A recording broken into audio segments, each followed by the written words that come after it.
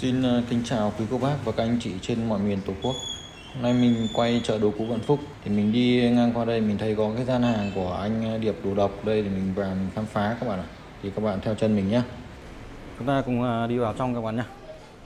Ô nhà không cửa hàng này không có ai các bạn ạ. Chắc là các anh anh ấy đang ở trong nhà. Điệp ơi, Có đây. à, anh làm gì anh? Ôi, xin uh, chào em. Lâu lắm À. rồi lại gặp em. Vâng chào anh nhé. Em anh đang như làm gì đây? Em như đang ở ngày xưa là em cũng quay anh một hai lần sao nhỉ? Vâng em có quay anh được ờ, một số cái video.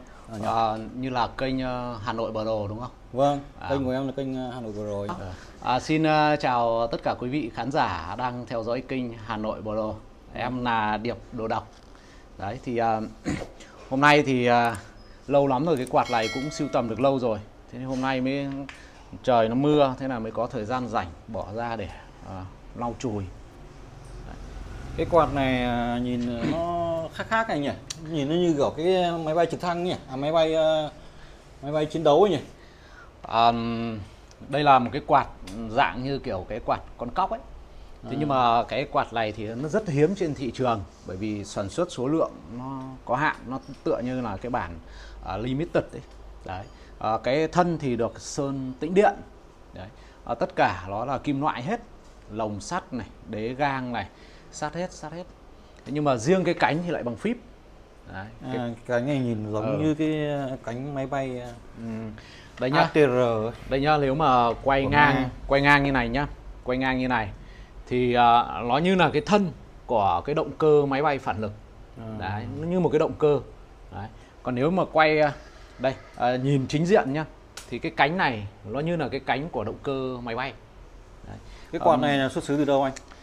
thì à, cũng à, cái này là như thế này cái này là khi mà mình mua về và mình có tìm hiểu ấy thì à, mình à, có thấy một số những các cái tài liệu có ghi là cái quạt này là do một người à, kỹ sư của Đức tức là được sản xuất tại Đức một người kỹ sư rất là yêu máy bay sau đó thì à, đã thiết kế ra một cái quạt dạng con cóc hình kiểu động cơ của máy bay À. Đấy. Thì nếu mà như mà nhìn nhá thì ờ, đây. Đấy cái cánh thì giống hệt như cái cánh của cái động cơ máy bay này. Cái thân cũng vậy này. Đấy. Và cái điều đặc biệt cái quạt này này. Mọi cái quạt là chạy theo hướng kim đồng hồ, À. nhưng khi cái quạt này thì nó lại chạy ngược. Ồ. Đấy, chạy ngược cũng có là có một nhỉ? cái đầu đáo. Wow. Và thứ hai nữa là cái quạt này lại zin hết. Mặc dù là sản xuất rất là lâu rồi. Lâu lắm rồi đấy. Thế mà rất zin. Từ cái lồng này này, khi mà về mình chỉ lau chùi sạch sẽ thôi, vẫn là à, cái lồng zin của nó. Mấy cái cánh này này, cánh này thì ờ, khi mà chạy nó bám bụi vậy, mình cũng rất là hay lau. Cái này mình siêu tầm được lâu lắm rồi, cũng phải mười mấy năm rồi ấy. Thế hôm nay rảnh rảnh thì lại bỏ ra lau chùi Nó còn chạy không anh? Ô, cái điều đặc biệt của cái quạt này em ạ là vừa chơi siêu tầm mà lại còn phải sử dụng được nó mới thích. À. Mà khoái nhất ở cái nhá, khi mà nó chạy nó cứ từ từ từ từ nó quay xong nó như là cái cái tiếng động của nó ấy, nó quay mạnh lắm, nó như kiểu nghe cái tiếng gió nó như kiểu là cái động cơ của máy bay phản lực ấy. Thế? Đấy. Ủa, phê lắm. Thế anh anh cắm cắm cắm điện thử xem là Ừ, đây, cho đây, giả đây. xem nó Ừ. những lời anh Ờ, uh, tả xem nó, nó, Ờ, nó xin đúng như mời ờ, khán giả của kênh ờ, Hà Nội Bồ Rồ xem cái cái cái quạt này nó nó, nó Đấy. như thế nào nhá, nó chạy như nào nhá. Em đang háo hức muốn nghe là cái tiếng Ờ. rít của nó xem nó có Đây giống như nhìn cái này. tiếng rít của máy bay không? Đây nhá. Đây cái cánh này. Và À, cái này nó có cái công tắc hất thôi. Đấy cái đời này người ta chưa sản xuất ra số. cái này có số, không, không có số. không không có số. À. Đấy. Thì gạt cái công tắc này này. Đấy, đây là cái công tắc của nó này. Đấy. Thế vào đầu là bật này. Đấy. Đây, À, anh cắm điện rồi à? đây. Bật này. Từ từ nhá, anh anh để để để em xem nó cái Đây nhá. để nghe cái tiếng của nó nhá. đây đây À, à. bắt đầu à, nó để cho nó dừng đã sau đó Vâng. thì bật để cho nó khởi động để quý vị khán giả cùng à, xem thực tế luôn nhá đấy Nó hấp dẫn, nó hấp dẫn là cái tiếng rít của nó. ờ thì Vâng. cái, cái cái cánh của nó nhá em để ý kỹ này nó đúng như một cái, cái cánh của động cơ máy bay phản lực À. đấy anh bật cho khán giả và mọi người xem nhá đấy. Tiếng rít phê chưa?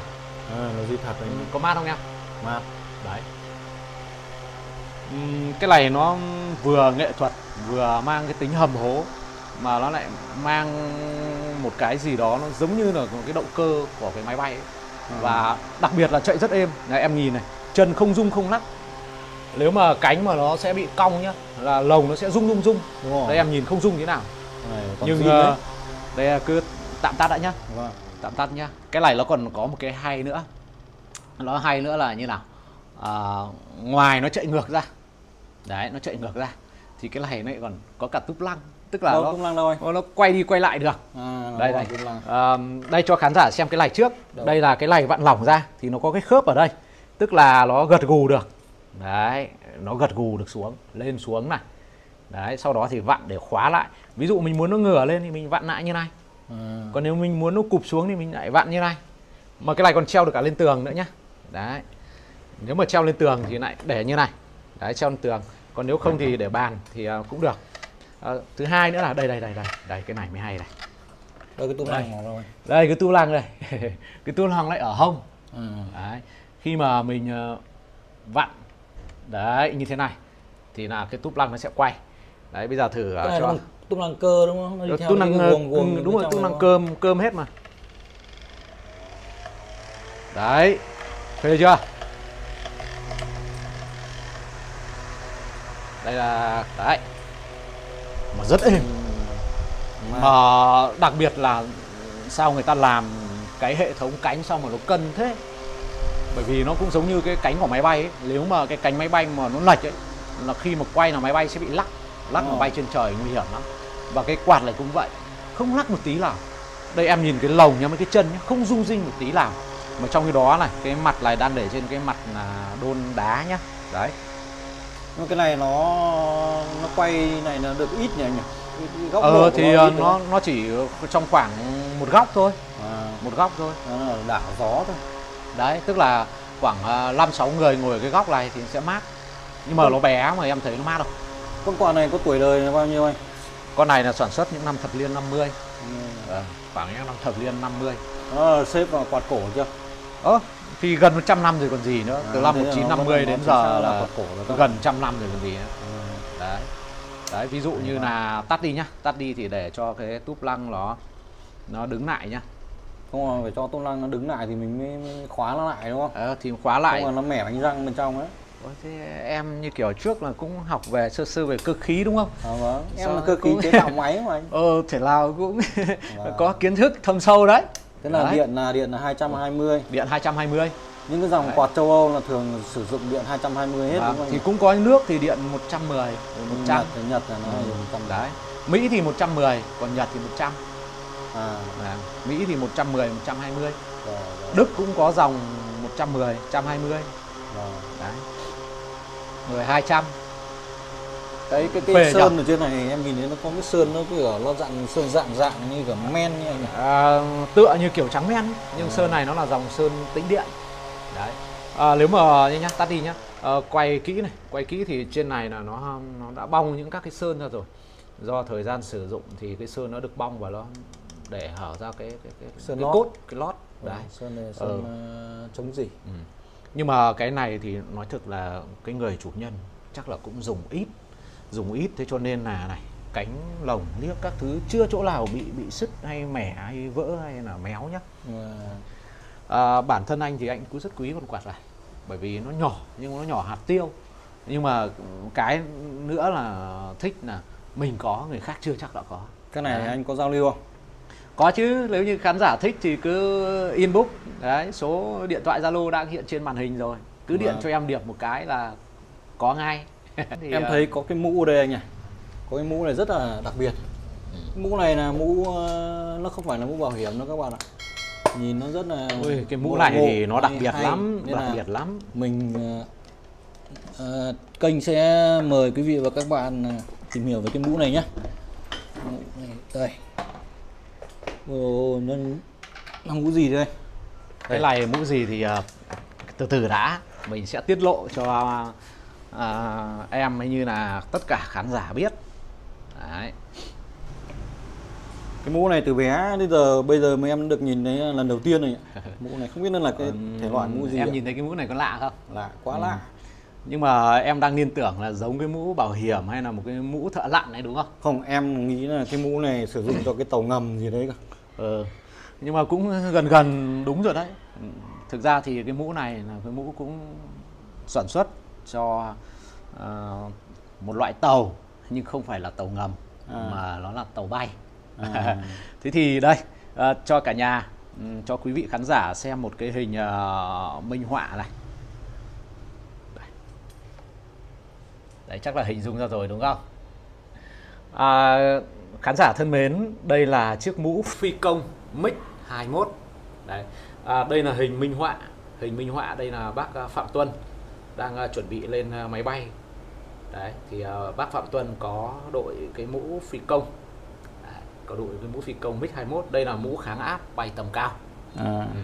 đấy thì uh, cái là mũ này là à, mũ phi công. mũ mà nó vẫn còn sử dụng được à, cái mũ này thì được uh, sử dụng trong chiến tranh ở Việt Nam à, do Liên Xô viện trợ từ những năm 60 à, cho đến những năm 1972 Đấy, và sau này nữa. Thì cái mũ này nó có rất là đặc biệt.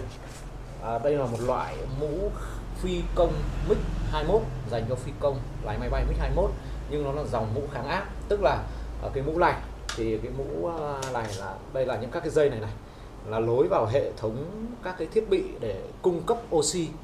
Khi máy bay MiG bay trên 10 km tức là bay trên độ cao trên 10 km thì ở đấy áp suất nó rất là thấp và phải thở bằng oxy. Đấy vì trên đấy oxy nó ít mà. Đấy phải thở bằng oxy. Cái cái dây điện này để làm gì anh? À cái dây điện này đây em có thể rút cái này ra. Cái à. này là không phải là dây điện mà cái này là cung cấp các cái hệ thống oxy lên và hệ thống oxy về. Vâng. đấy thế thì đây đây mới là dây điện này đây. À, dây dây này để làm gì? Đây là cái rắc điện nhá. Dây để liên lạc cái này bên dưới này à? thì mới cắm vào cái hệ thống ở trên máy bay để liên lạc ở bên dưới. À. Thì nếu mà nhìn kỹ này, đây là đấy, à. đây chính là tai nghe. Tai nghe, tai nghe và mic. Tai nghe và mic. Đấy.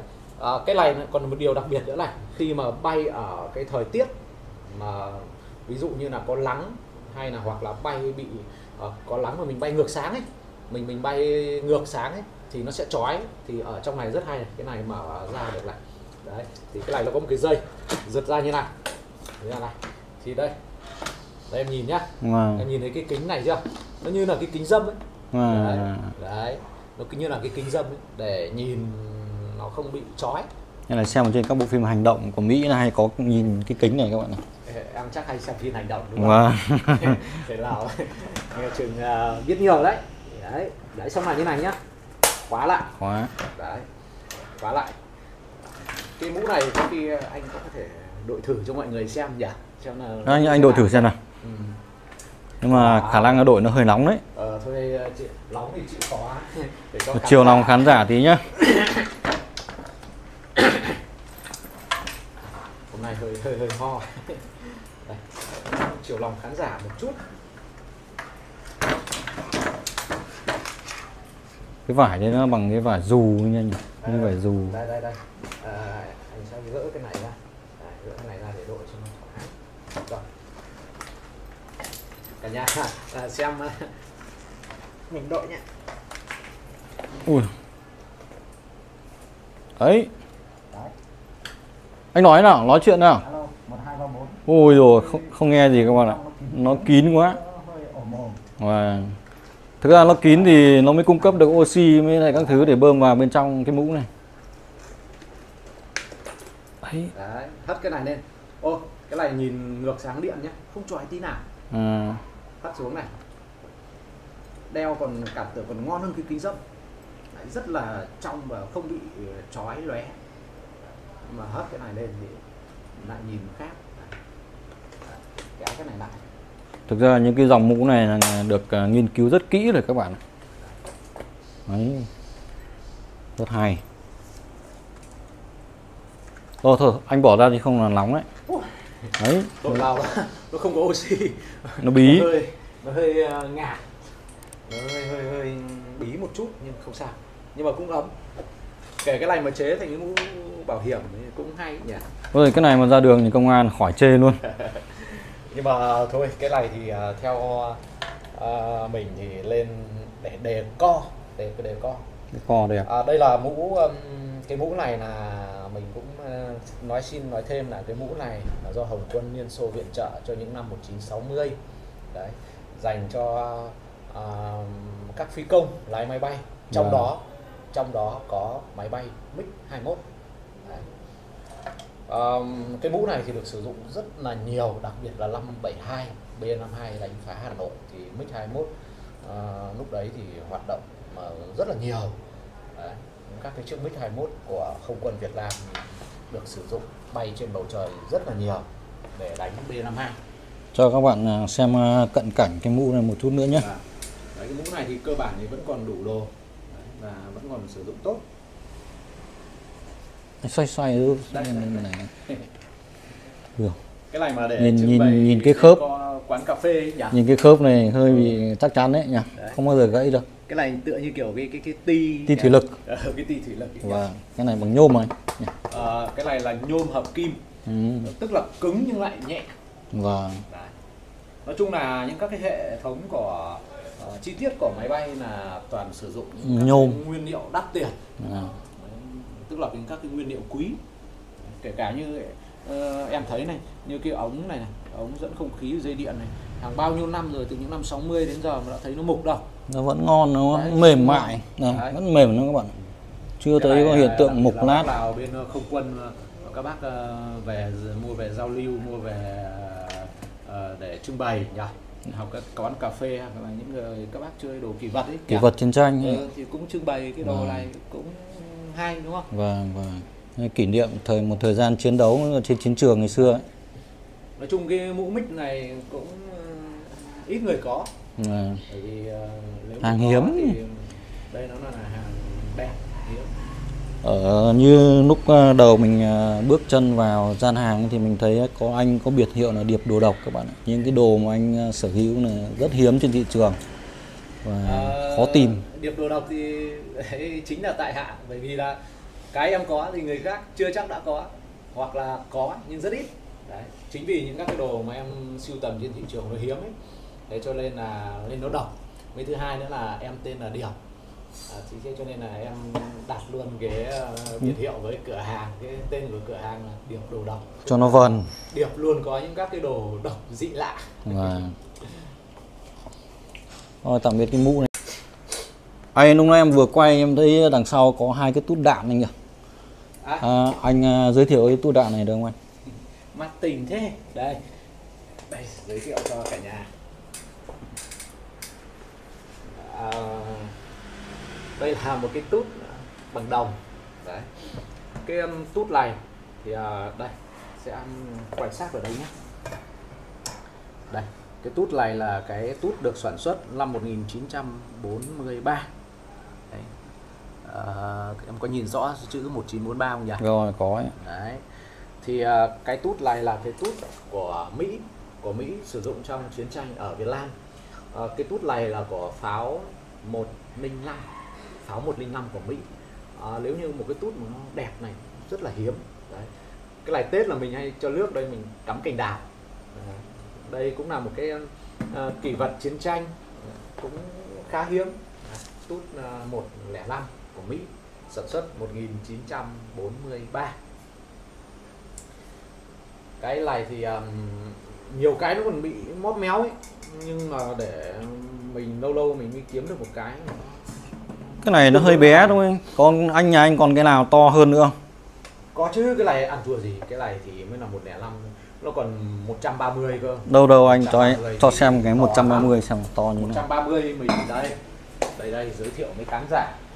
130 đây. Đấy. Đấy, đây là cái đây cái loại này to các bạn này. Cái này 130 là của Liên Xô. À, mỗi một cái nó nặng hơn 10 cân. Một đôi này là nặng trên 20 cân. Nguyên vỏ tút không em cũng có từng nhìn thấy có nhà họ sử dụng cái này xong người ta khảm Cắm. hay là chạm À, trổ cái gì chạm này. khảm hoặc làm nọ hoa rồi À. ờ, thứ hai nữa là ờ, Tết thì mình hay cắm cành đào. Đấy, thứ nhất.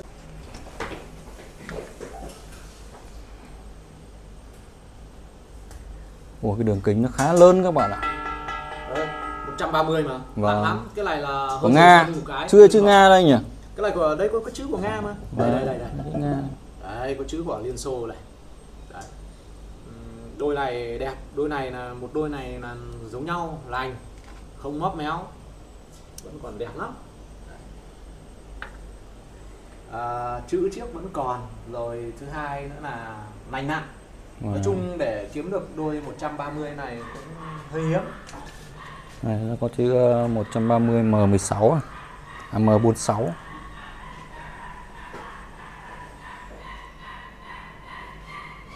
Đúng là hàng độc. Ở đây có cái kiếm này các bạn này. Kiếm này là kiếm ờ, À. như nào anh? kiếm này à À, ờ, cái kiếm này là một cái kiếm cổ kiếm cổ đấy vỏ được ờ, bọc lì các cái họa tiết hoa văn bằng đồng này đấy. từ những các cái tay cầm nhá đấy tay cầm hình con ngựa bằng đồng này lưỡi thép Ờ, thanh kiếm này thì nó cũng có tuổi đời sâu lắm rồi Cái này sâu là bọc bằng bằng bằng, bằng nỉ à? vâng bên ngoài thì ờ, được bọc bằng một loại nỉ đặc biệt đấy Ừ, nhìn đẹp. vỏ gỗ bọc đồng Đấy, có thể rút ra cho cả nhà xem này Và Đấy, rút một nửa thôi. ừ. lưỡi thép đấy đây đấy, như này cả nhà sẽ dễ hình. Đây nó có cái hoa văn này các bạn này. Hoa văn của cây cây này cây gì anh? Cúc dây à? ờ, cái không không phải cúc dây Cái cái này cái gì? ừ, hoa văn này là hoa văn hoa lá các cái họa tiết hoa lá Ừ. đấy hoa lá bởi vì cái ờ, kiếm này là người ta chạm rất là tinh xảo đấy cán bằng đồng nhá Nó cũng theo thời gian nó cũng bị mòn đi đấy nhỉ. Ờ, thì thực ra như này này trước lưỡi nó sắc lắm nhưng mà mình để đây mình để con nên mình mài cồn đi Ừ. lấy rũa mình rũa cồn đi Và để mình có phải là mình để làm gì đâu mình mình Đây là ờ, hàng trưng bày thôi. mà. đấy Đó. thì mình cho sắc làm gì? Đấy bác nào về các bác thích sắc thì các bác tự mài. Và Ờ, rất tuyệt vời ạ. đấy.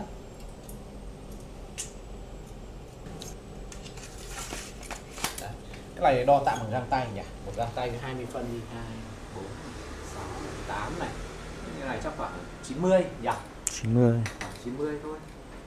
Cũng đẹp à, cái này giá nó cũng mềm mềm lắm. Đấy. cái này à, giao lưu mới nếu anh em mà thích thì giao lưu cho anh em. Khoảng 10 triệu. 10 triệu. Trước mua hơn đấy nhưng mà giao lưu coi như là thế mấy anh em vừa giao lưu vừa tặng. 10 củ các bạn. Trước con này mua khá nhiều tiền đấy mua mười mấy củ đấy. Thấy không? nhưng mà thôi thì mấy khi được lên kênh ờ, Hà Nội Bà Đồ nên là cũng mở hàng cho anh em giá yêu thương thôi Vâng, vâng, thôi. vâng. Các bạn bác nào có muốn giao lưu thì các bạn à, có thể liên hệ với anh ở trên số điện thoại trên à, màn hình các bạn nhé. Đấy, số điện thoại có trên màn hình bác nào có giao lưu cái gì thì cứ, ờ, số điện thoại trên màn hình đấy rồi Ngoài ra mình có phát hiện ra là nhà anh ấy có cái xe này các bạn này. Có cái xe cổ này các bạn này. Nhìn à, khá là là là hay các bạn ạ. Xe này nó gọi là xe gì anh? Ờm, con xe Sao nó này- có cả động cơ ở dưới nhỉ? Ờ, thực ra tên đầy đủ của nó như người Việt Nam hay hay thường gọi nó là xe đạp máy tức À. là bình thường nó là một chiếc xe đạp đạp như một cái chiếc xe đạp bình thường Vâng. nhưng có gắn động cơ thì gọi là xe đạp máy đấy thì cái xe đạp máy này của Pháp nhưng mà có rất nhiều những các cái dòng xe đạp máy như là Solex hay ờ, những các cái dòng khác nữa. Thế nhưng mà cái dòng này thì rất hiếm. Ví dụ như cái dòng này ở Việt Nam thì chỉ đến trên đầu ngón tay thôi. Đấy. Chạy xăng anh. ừ, Phải chạy dòng không? Mominet hay là Solex nhiều lắm. Nhưng mà cái dòng này thì rất là hiếm. Cái dòng này nó gọi là Zote. Zote. Zote của Pháp. À, Pháp. Zote của Pháp Ngầu ướm con này là sản xuất năm 1950 1950 của Pháp.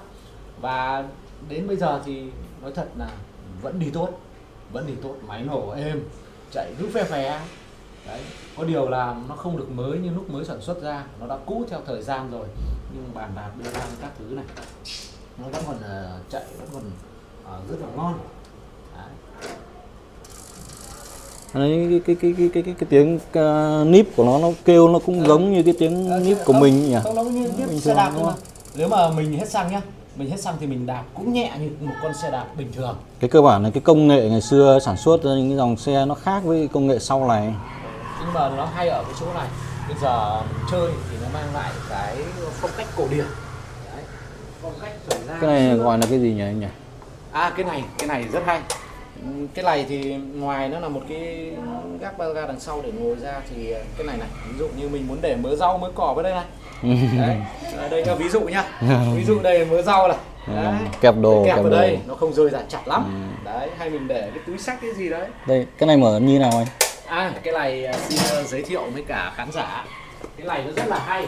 Đấy để mình giới thiệu với cả khán giả nhé Cái cái này thì nó rất là tuyệt vời. Ờ, Cái này thì nó là cái hộp Nhưng nó lại có hai hộp hai bên nhá Đằng sau Ừ. cũng có này Đằng trước cũng có này Nhìn những hộp kính ấy. Bên trái bên phải đều có Đấy nhưng mà nó như này nhá Hất hất cái khóa lên À. Đấy hay chưa ô bộ đồ nghề à? Ừ thì ví dụ như là cái này này Mình mở buji ra Bởi vì cái dòng xe hai thì này này Nó có một cái nhược điểm Nó rất là hay là Nó hay muội buji ừ. Đấy mùa muội buji thì sẽ không lổ được. Đúng rồi. Thế cái này để mở buji ra Xong lấy rẻ lau sạch sẽ buji Xong lại cho vào. Thế là buji lại lổ Bởi vì cái dòng nó có nhớt mà Hai Ờ. nhớt mà. Thế trong này thì nó cũng có vài thứ nữa. Ví dụ đây Cái rẻ để lau buji này.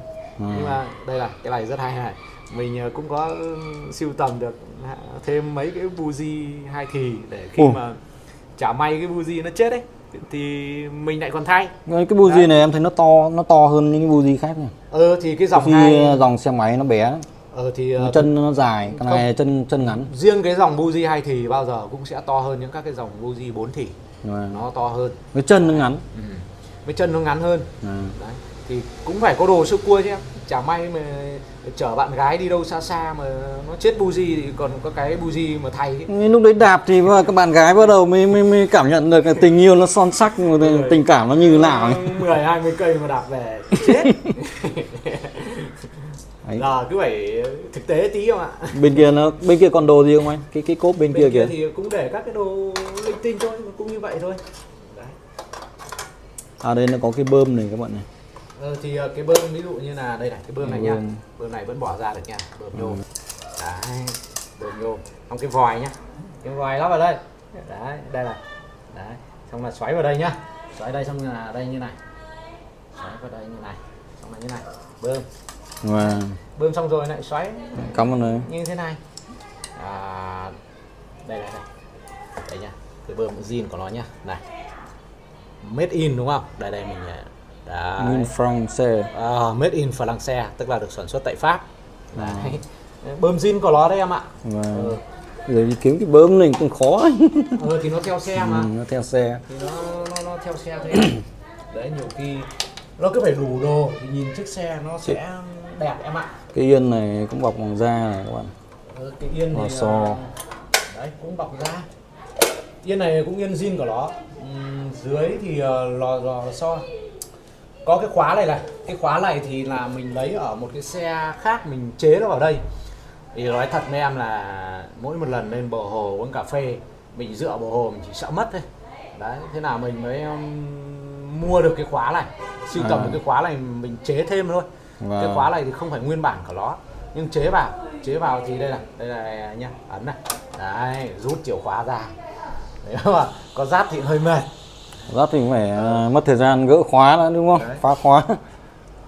Mỗi lần lên ờ, bồ hồ hay đi đâu đấy chơi thì mình để ở ngoài uống cà phê mình cứ sợ các bạn dắt đi đâu mất nên là và uống cà phê nó không ngon lo lắng À, thôi đấy, chế cái khóa có dắt đi đâu thì trống nó khó. Ừ, đây là mở nhá. Đấy. cũng rất là hay. Đấy ấn vào mở lên. Ok ờ, Cái bàn đạp. của nó này. Đây vẫn còn ngon lắm. Bon á đấy vẫn còn rất ok bỏ lắm đây Cái, cái buji ở đây các bạn này. ờ buji. Đây cái tàu buji cái này có thể rút ra được này. Đấy rút ra được. Cắm vào Đấy. rồi ờ, thứ hai nữa là đây là cái bình xăng. Bình Wow. xăng. Cái bình xăng nhá mà mà cái lắp bình xăng cái lắp bình xăng. Uh, zin nhá. Đây nhá. Nó sản xuất từ những năm năm năm năm năm mươi này. Mà nhìn này cái sắt mạ này. Đấy, cái sắt mạ nó vẫn còn rất là đẹp. Đấy, giòn vẫn còn nguyên này. Đấy. gần trăm năm đến nơi rồi mà mà vẫn còn à, hoạt động tốt. Cái này là cái gì anh? Lọc gió à? Ờ, cái này thì nó là cái nọc gió để cho bụi bẩn nó khỏi vào trong cái buồng đốt thôi. Con xe này mình thấy có hai cái thụt các bạn. Nhưng cái thụt này chắc là thụt lò xo thôi. Ờ, cái này thì thụt nó xoa để đi vào chỗ sóc ấy. Đi vào chỗ sóc nó, Ừ. giảm bị- giảm chấn. Và lò xo nhưng mà nó chấn. chỉ là hỗ trợ một chút thôi. Thì công nghệ ngày xưa thì làm sao như bây giờ? Đây có cái cần gì đây anh cần ga hay cần Không, gì? không, cần số à? Cái này nó lại không phải ga mà không không không phải là số. Nếu mà thoạt nhìn thì cứ nghĩ đây là cái cần số. Cái này là hạ máy và nâng máy xuống. Tức là nhá À. tức là như này. Nếu mà mình đi xe đạp thì mình phải kéo cái máy lên. Nó lai vào đúng kéo không? cái máy lên thì nó mới đạp nhẹ. Vì nó cái cái cái máy của nó nó không tì vào lốp. Thì đạp xe thành xe đạp rất nhẹ. Ừ. nhưng khi mà mình đi ờ, đi mình lổ máy mình đi thì mình lại phải hạ máy xuống thì cái máy đây này cái máy này nó lại ờ, chạy nhá nó lại không chạy chạy bằng xích dây Đấy. cu loa cũng không phải dây cu loa Ừ. mà cái động cơ nó nai ra đây là nó có cái quả lu này nó nó nó năn nó năn cái xốp nó năn cái lốp này đi luôn đấy cái quả lu này này nó tựa nó kiểu giống như con Solex ấy đấy tức là nó ăn nó ăn vào lốp luôn cái quả lu này nó mới ờ, chạm vào cái lốp này Vâng. sau đó nó sẽ lôi Nó cái đẩy. bánh sau đi đẩy cái bánh sau đi À. thế còn lúc nào mà đi xe đạp ấy đi xe đạp ấy thì lại nhấc cái máy ra thì quả lu này nó không chạm vào cái bánh xe nữa. Ừ, rồi, rồi, Đấy. rồi. thì à, nói chung là ừm, từ những năm 1950 đến giờ thì ừm, chiếc xe này vẫn còn hoạt động hoàn hảo. Có điều là nước sơn nó hơi cũ. Và các cái chi tiết nó cũ theo thời gian. Đấy là không tránh được. Ừ. nhưng mà cái cũ này nó cũng có hay. Cái cũ này là nó nó mộc mạc mà nó nó mang cái cái phong giá trị cách về của cổ xưa đúng không? Cổ Ờ, kính đúng không ạ? Cái tay lái à, cái phanh ngược Ngược. Ờ, hai bên là hai phanh ô cái chuông này hay nhá. Cái, cái chuông này. rất chất. Đấy cái chuông này nhá. Cái chuông này nó vẫn kêu tốt ạ. Đấy. Cái chuông này nó có cái tích về bên công giáo này đấy nhé đấy cái tích về bên công giáo. Đấy. cái rất là hay. Để cái video sau mình sẽ giới thiệu về một số cái xe cổ. Sau đó mình sẽ đi thử cái xe này đi thử cái xe này. Hôm nào anh cho uh, quý vác ra đường chạy thử nhé ừ thì cho khán giả à, xem. video sau nhá video sau bạn đến đây xong mình sẽ hướng dẫn vài cái xe nữa.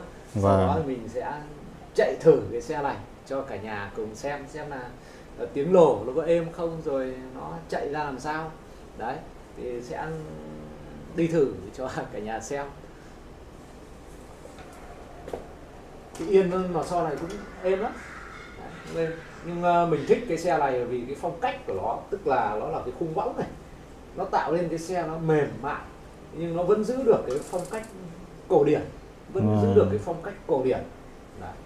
phong cách cổ điển mấy thứ hai nữa là các cái đường nét thanh mạch nhẹ nhàng cái phanh uh, này em thấy nó phanh tăng trống này nhỉ Đấy. công nghệ ngày xưa cũng ác phết đấy đấy đây này bóp này đấy tăng trống ấy.